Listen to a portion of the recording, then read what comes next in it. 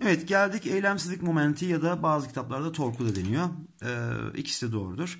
Eylemsizlik momenti ya da eylemsizlik torku konusuna. Şimdi kitaplarda eylemsizlik momenti ya da torku e, cismin dönmeye karşı gösterdiği direnç olarak tanımlanıyor. Güzel. Eyvallah.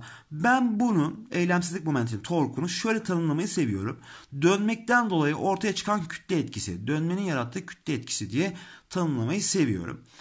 Bu e, eylemsizlik momentini ya da eylemsizlik torku I harfiyle, büyük I harfiyle gösteriyor ve formülünü soruda bize vermek zorunda. Neden? Çünkü bunun formülünü bulmak için e, yeterli matematiğe lise seviyesinde sahip değiliz.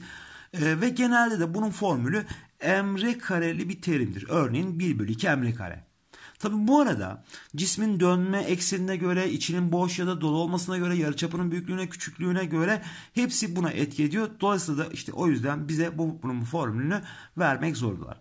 Hadi gelin bununla ilgili sayısal bir örnek yapalım. Elimizde şöyle bir silindir varmış. 4 kilogram kütleli 2 e, metre bölü saniyelik çizgisel hızla öteleme hızıyla gidiyormuş. Yani hem dönüyor hem gidiyor. Cismin eylemsizlik torkunun formülü ben veriyorum diyor soru 1 bölü 5 emre kare. Bu bilgiler ışığında cismin diyor toplam kinetik enerjisini bulun diyor. Evet şimdi ilginç bir yere geldik. Cisimler dönerek ilerlediklerinde hem gittiklerinden dolayı ötelendiklerinden dolayı 1 bölü 2 mv karelik dönme, e, öteleme kinetik enerjileri vardır. Bir de döndüklerinden dolayı da enerjileri vardır. Bu enerjilere de dönme kinetik enerjisi denir ve formülü 1 bölü 2 I omega karedir. Bakın ben e, eylemsizlik momentinin tanımını ne demiştim? Dönmenin yarattığı kütle etkisi. 1 bölü 2 m v kareye ne kadar çok benziyor değil mi? 1 bölü 2 I omega kare. Pekala. Yani demek ki bu cismin hem 1 bölü 2 m v karesi var hem de dönmekten dolayı 1 bölü 2 I omega karesi var. Bulun demiş. Bakalım bulacağız e, formülü I'nın formülü yani eylemsizlik momentinin ya da torkun formülü 1 bölü 5 mv kare demiş. Şimdi şuraya yazalım. 1 bölü 2 kütlesi vermiş 4. E, öteleme hızını çizgisel hızını 2 vermiş. 2'nin karesi. Bunu direkt yazdık. 1 bölü 2. I'nın yani eylemsizlik momentinin formülü 1 bölü 5 m kare demiş çarpı omega kare demiş. Şimdi bakıyoruz. Sıkıntımız şu. Burada bakın farkındaysanız e, açısal hız yok. O zaman ne yapacağız? V eşittir omega çarpı R'den. Omega'yı çekersek ne olur? V bölü R olur omega. O zaman şunun yerine ne yazacağız? V kare bölü R kare. Bakın buradaki yarıçaplardan kurtulun. Zaten yarıçapını vermemiş soruda ne olduğunu. Şimdi e, burasına devam edelim. Şurası 4 çarpı 4 16 bölü 2'den 8. Şimdi buraya bakalım. 1 bölü 2 1 bölü 5 1 bölü 10 çarpı m kütlesi 4 e, v kare hızının karesi 2'nin karesi 4 16 10'a böldüm 1,6 e 8 1,6 daha 9,6 jüldür deriz. Toplam kinetik enerjisi ne? Evet geldik açısal momentum kavramına. Burası da şimdi şu, bu sayfayı çocuklar e, kavramsal olarak çok iyi bilmeniz gerekiyor. Benim tahminim bu sene buradan çok yüksek olasılıkla soru gelecek. Bakalım neymiş. Şimdi biz 11. E, sınıftan şunu biliyoruz. Çizgisel momentum. Yani m kütleli bir cisim bir v hızına sahipse bu mv çarpımına biz çizgisel momentum diyoruz. O zaman kütle ve hızın çarpımı çizgisel momentumsa kütle ve hız. E burada da kütle dönmenin yarattığı kütle etkisi ve açısal hız var. O zaman buna da bu çarpmada ne diyoruz? Açısal momentum diyoruz. Şimdi bu sene korona meselelerinden dolayı türev integral konuları ta, e, dahil edilmedi ama daha sonraki girecek öğrenciler için e, ben buraya şöyle bir şey yaptım.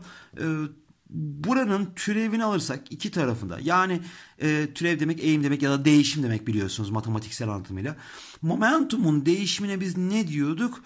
Kuvvet diyorduk. 11. sınıftan biliyoruz bunu itme momentum konusunda e, F çarpı delta T itme, delta P'de momentum değişimi demiştik. İtme momentum değişimine sebep olur demiştik. İşte dolayısıyla değişim kuvveti veriyor. Yani momentumun türevi veya momentum değişimi belli bir zamanında kuvvettir. O zaman açısal momentumun değişimi de dönme ile ilgili kuvvet neydi? Torktur. Ondan sonra hızın türevi ivmedir. Ee, ya da hızın değişimi ivmedir. İlla türev demek zorunda değiliz. O zaman açısal hızın türevi veya açısal hızın değişimi de açısal ivmedir. Onu da alfa harfiyle gösteriyoruz. Öyleyse P eşittir mv yani çizgisel momentum eşittir kütle çarpı e, çizgisel hızı türevle veya değişimle F eşittir MA'ya dönüştürmüştük. Kuvvet eşittir kütle çarpı ivmeye dönüştürmüştük. O zaman açısal momentumun türevi ya da değişiminden de tork eşittir e, eylemsizlik torku çarpı açısal ivme diye dönüştürebiliyoruz. Aman dikkat. Peki şunu da hatırlayalım. Geçen sene çizgisel momentumda bir cismin üzerinde kuvvet yoksa momentum korunur diye bir lafımız vardı. E, çıkarımımız vardı. Aynı laf buraya da adapte edilebilir mi diye bakalım. E, o zaman burada kuvvet yerine tork var. Yani dönen bir cismin üzerindeki tork sıfırsa o zaman tork sıfırsa açısal momentum korunur. Aynı kuvvet sıfırsa bir cismin üzerine etkiden net kuvvet sıfırsa momentum korunur, çizgisel momentum korunur dediğimiz gibi bir cismi dönem cismi etkiden tork e, sıfırsa açısal momentum korunur da diyebiliriz. Bir sistem bir sistem üzerindeki tork sıfırsa açısal momentum korunur lafını söyleyebiliriz. Evet, açısal momentuma biraz daha yakından bakalım. Açısal momentum e, elemsizlik torku çarpı açısal hız demiştik. E, bu e, eylemsizlik torkunun formülü bize soru verir demiştik. Genelde emre kareli bir terimdir. Örneğin 1 bölü 5 emre karedir demiştik. E, başka ne demiştik? Açısal momentum. E, ha şimdi şeyi öğret e, anlatayım size. E, açısal hızın yönü ve açısal ivmenin şey pardon açısal e, momentumun yönü. E, dairesel hareket konusunda V'ye şöyle elimizi koyup döndürürken baş parmak açısal hızın yönünü gösteriyordu ya. E şimdi burası bakın F eşittir MA'ya benziyor. İvmenin yönüyle kuvvetin yönü aynıysa açısal hızla açısal momentumun yönü de aynıdır. Öyleyse buradan da şöyle yaptık dışarıya doğru açısal hızın yönü öyleyse açısal momentumun yönü de dışarıya doğrudur deriz. Peki Şimdi başka ne yapacağız burada? Ee, diğer sayfada şunu söylemiştim. Dışarıdan bir tork uygulanmıyorsa dönen cisminin açısal momentumu korunur demiştik. Peki yorum sorunu ne yapacağız? Bakın şimdi I yerine genelde ne demiştik? Emre kareli bir terim kullanır. Hadi biz de emre kare yazalım.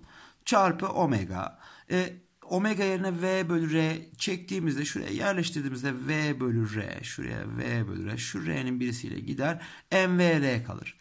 Niye böyle bir şey yaptım? Çünkü yorum sorusu sormayı seviyorlar buradan.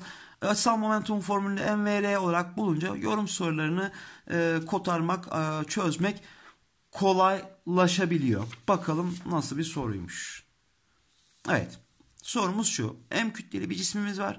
R uzunluğundaki bir ipe bağlanmış düzgün çembersel hareket yapacakken ip çiviye sarılmaya başlamış. Fakat diyor ki bize soruda kalınlığını önemsemeyin diyor. Yani bu ip buraya sarılırken ipin kalınlaşmadığını varsayın diyor.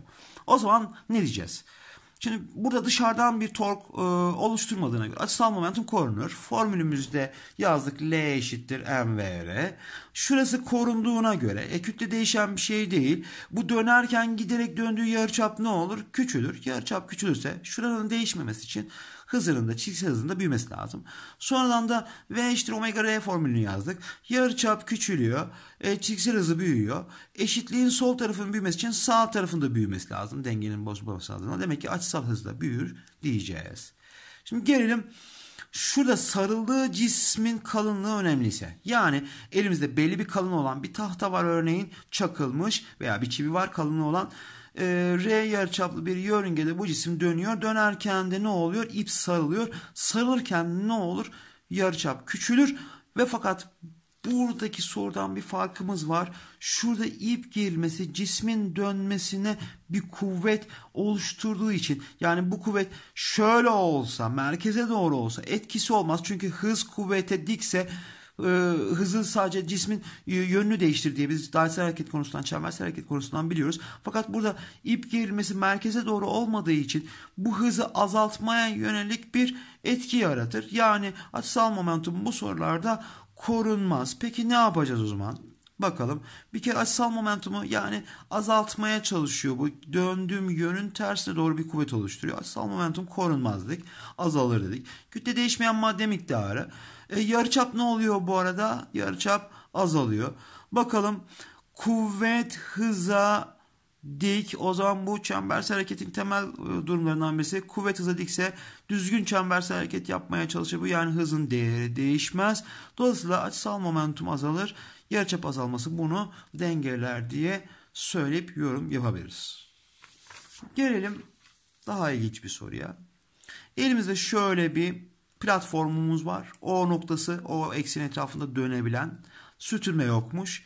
M kütleli bir platform. Üzerinde M kütleli bir çocuk var. Bunlarla beraber omega açısı hızıyla dönerlerken çocuk merkeze doğru yürümeye başlıyor. Ne olur diyor bize yorumlayın diyor. Şimdi açısal momentum L eşittir I çarpı omega'dan e, yazmaya çalışacağız. Fakat burada hem çocuk var hem tablo var. İkisini ayrı ayrı yazıyorum.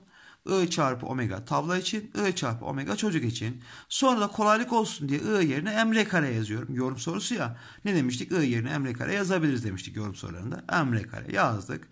Ee, dışarıdan bir etkimiz var mı? Bunun dönmesine etkileyebilecek bir şey yok. Sadece çocuk e, sisteme dahil olan bir şey ve yürümeye başlıyor. Dolayısıyla açısal momentum ne diyoruz? Korunur diyoruz. Yani bu taraf korunacak. Burası sol taraf değişmeyecek. Ondan sonra bakalım e, tablonun kütlesi ve çocuğun kütlesi değişmez. E, tablonun yarıçapı değişmez ama çocuk bu tarafa doğru geldikçe yarıçap ne oluyor? Küçülüyor. Küçülüyor. O zaman eşitliğin sol tarafı değişmez korunur demiştik açısal momentum.